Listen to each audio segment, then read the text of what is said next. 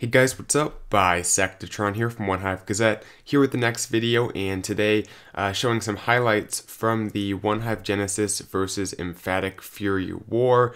This one a very important win for One Hive Genesis. Not our best war, uh, probably not Emphatic Fury's best war either, um, but in this one we pulled it out by one star, so uh, good job uh, regardless of a few hiccups uh, here and there. Still got the job done. Uh, good job to our Town Hall 9s. Um, the difference you can see here is basically that Town Hall 11. Uh, if they had gotten that one two star, they would have won the war. They had us on percentage.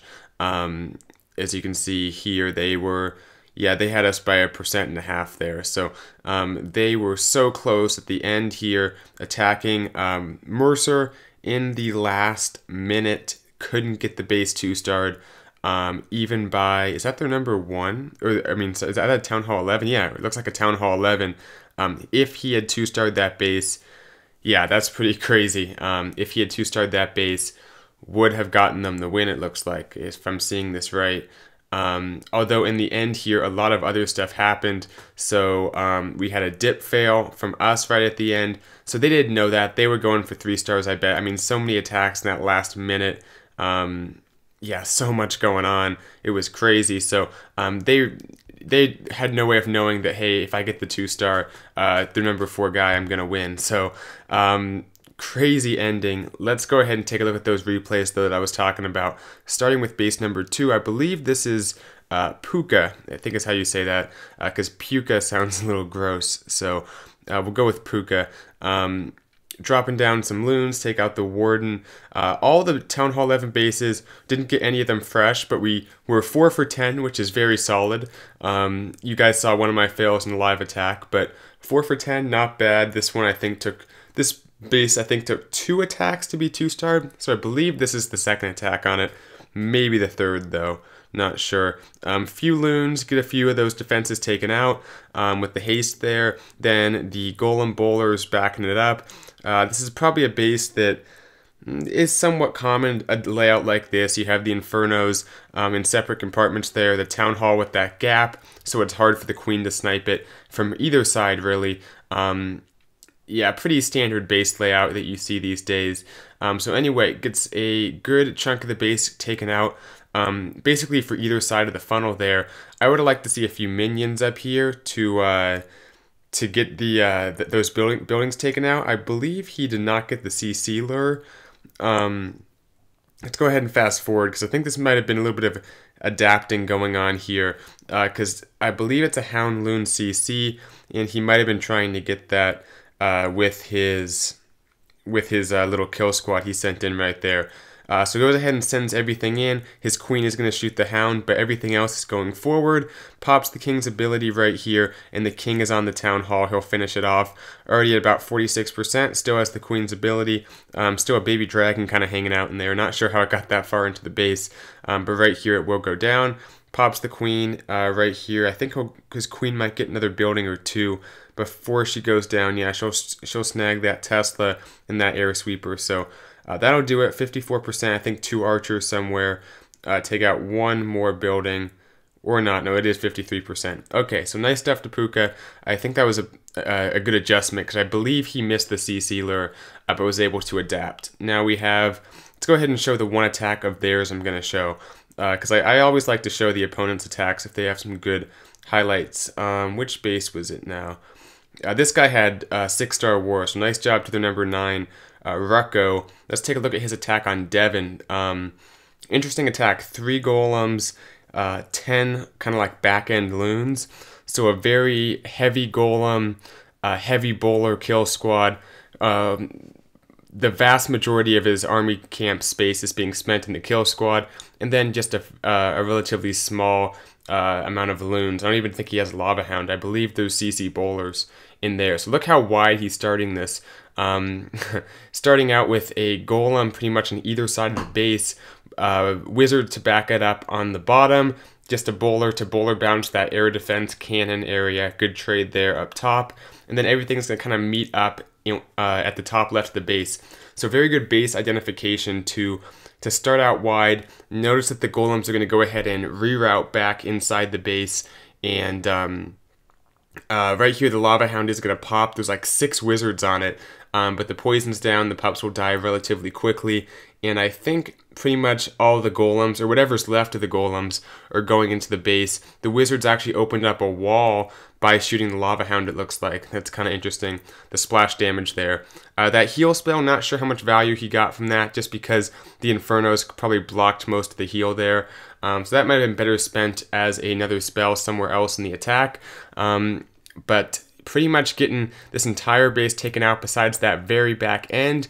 And then right there has the haste. He'll just haste those two groups of loons into the archer towers. Uh, I think they move up to the wizard towers but don't quite get them taken out, although he has a few extra loons still left to deploy. But at this point, when it's just one wizard tower left up, then all cannons and mortars, and you have a few loons and a baby dragon, you know it's going to be over because they can't, um, nothing can hurt those loons, nothing can hurt that baby dragon. So the queen will die here, um, I think to that mortar shell, to that, yeah, to the cannon there, uh, but he has those air troops, which, um, which are going to be able to finish off the rest of the base. So good attack. Um, one of my favorite attacks, probably my favorite attack from this war, I'd have to say.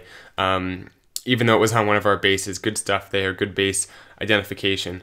Um, let's take a look at the one 10v10 we had. Now they had two 10v10s. Uh, we only had one. Um, we had a 99% on another base. We actually, I think the um, one of like the, the second attack on the base got 99%, then like two or three following attacks uh, for some reason could not finish it off. So that always is kind of frustrating. Uh, but this was one of the, uh, or the only three star we got at Town Hall 10, and it proved to be very important. Uh, one thing that did hurt them were the dip fails. Um, I believe they had two or three dip fails, maybe just two. I know they failed on my base, um, and possibly one or two others. So uh, we were a little bit better on dips, which was a big difference maker in this war. So anyway, this is Dow taking on number 14 here. Um, always a little bit easier to three-star one of these low-level Town Hall uh, 10s that has level 2 Infernos, a lot of the Town Hall 9 point defense, although some of the Archer Towers, Wizard Towers are upgraded. So just wall breaks the queen in, um, nice funnel, king on one side, some loons on the other, making sure the queen takes out that inferno. That's the most important part. Then she's actually going to leave the base, go out and get a wizard tower as well. So great value. She will continue to do some work as she uh, as she makes her way around. I think yeah, because the king got that town hall so low that she one shots it, then takes out the cannon, then comes up and takes out that air defense, uh, so the loons don't even have to stop at that first air defense. Not a huge deal, but uh, she will even start cleanup right here. Um, so great value from that queen. She's going to go on a monster walk. She's not even done yet. Uh, poisons the CC. It has a wizard in it as it comes out. Has the poison on the queen as well. Skelly spell. I think some loons got drops on her, which is what killed her. But the Skelly spell was also there just in case. Queen still doing cleanup, uh, hasting these loons through the base has one heal spell right for when the Inferno Tower goes down to heal them over that last Wizard Tower and few defenses on the back end. So here's the heal, um, about to go down. I think the heal is a little bit late, um, but gets at least like three or four loons healed initially. Then the rest will eventually make their way to that area. Um, I think maybe a few of them getting that heal. So a ton of loons left up at the end here. Queen is still alive. Um, imagine that in the planning. Uh, if you told him his queen was going to survive the entire attack, I that would be a weird thing to to be told when you're doing a suicide queen for one of the infernos. But it happens, and she will help with cleanup. She probably got a solid uh, 30, 40 percent of the base taken out on her own just in this entire walk around around like three quarters of the base. So crazy stuff. Two very nice 10v10s from this war. Had to show them. They had one other 10v10 uh, from that same guy that I didn't show, but it was a nice attack as well. Um, let's go ahead and take a look at two Town Hall 9s, 21 and 22. This first one, I liked it because it was using a P.E.K.K.A. in the CC, which is something that uh, we don't see that often, but the P.E.K.K.A. is effective because it has the tankiness of the golem. It's not going to die very easily. It's good at taking out heroes. Um, more reliable in some senses than bowlers are because uh, it's not going to get taken out by giant bombs. They're much more sturdy than other DPS troops you can put behind your golems. Uh, these are both fresh attacks. I wanted to make sure I showed some fresh attacks because once you know where the traps are, it becomes uh, significantly easier to 3-star a Town Hall 9. And I think it's uh, better help to you guys to show these fresh attacks, see how the original plans go. So um, heroes go in. Uh, that one golem did walk. It'll lure the CC and it will trigger a giant bomb. So actually, that golem uh, didn't wasn't a total waste. It still tanked for a while for the funnel at least, and then uh, triggered the the uh, CC and the giant bomb. So that was good. And um, Heroes moving in. The queen finally finishes off the baby dragon in the CC. Like I said, that P.E.K.K.A. walk up, take out the queen. Um, that's clutch. You, you, cannot have that queen still up. And it'll also tank for his own queen for a while uh, to let her get more value. Here come the Hogs, though, has three heals. I like not raging. Uh, the rage on the P.E.K.K.A. is not that important because it already does so much damage. Raged bowlers are typically going to be uh, more important. So bringing the P.E.K.K.A. in a way allows you to bring an extra heal spell for your Hogs, and with all these giant bombs and stuff, definitely is important to have that last uh, heal spell for the cannons, for the Tesla. Uh, but this base is crushed, still has two Hogs he hasn't even deployed. Nice attack to Ollie. We'll fast forward to the end here because he's going to drop that last heal over the Teslas. Even if the giant bomb was still there, would have been fine. Uh, Troll Tesla in the corner. I think he... Um, that's why on a fresh attack, you always, especially if you're crushing the base and time might be an issue, save a hog or two, um, probably two, and if you just try to check the corners, I know it's difficult to do, but um, if you if there's a Tesla unaccounted for, see if you can uh, find it in the corner there. Drop the hogs because it will it'll ruin your cleanup oftentimes if you have to have your hogs run from one side of the base to the other to finish off the last defense and they'll start cleanup on the wrong side. Your wizards will be on the on like the same side as your hogs which is never a good idea. So uh, keep an eye out for that on fresh attacks because we see troll teslas um, very often at least in the wars i'm in. So this last one here is a um, a LaLoon attack. Two golems a few Valks even. Um, so a relatively big kill squad, bunch of wizards behind as usual, and has a jump spell to get in there, get the queen, and get two air defenses taken out. Then it's just going to be a LaLoon on the back end of the base. Small CC, so drops the poison on it, has two poisons.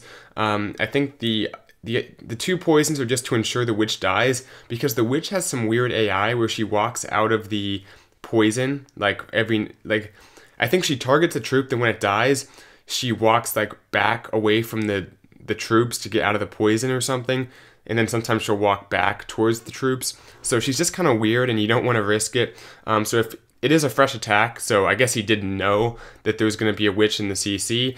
But if he did know, the double poison was a good idea. And also, when you have two heroes plus a CC, it's a good idea to have both those poisons. Even if it, even if you could bring an extra haste and one less poison, um, I think this was a good decision. Uh, even being a fresh attack, so that king is going to tank for a while. He just kind of got stuck on a wall, but he tanked that Tesla uh, for quite a while. And here come the loons with the hastes has a rage and a heal as well. Pretty good deployment. The loon's kind of just uh, targeting all these defenses at once here. A few golemites still working somehow. Uh, that's pretty crazy. And then right towards the end here has the rage heal combo for the sweeper expo uh, wizard tower area. Rage is first to get them over the sweeper, then he'll heal at the end here. You typically don't want to rage and heal over the same area because the rage propels the loons out of the heal, which is almost a bad thing for you. So heal when the loons are going slowly, that way they spend more time in the heal. Rage over a different part of the attack where they're not being healed. A ton of loons left up at the end. Nice hit. that will do it for the video. Thanks for watching. I will get those Patreon perks out as soon as possible. I've done most of the perks, but the video perks, um, being the uh, expert interview and the base review and the base building questions, going to be coming out very soon. Sorry for the delay, um, but that'll do it for this one. Thanks for watching. I'll see you guys in the next video. Bisectatron out.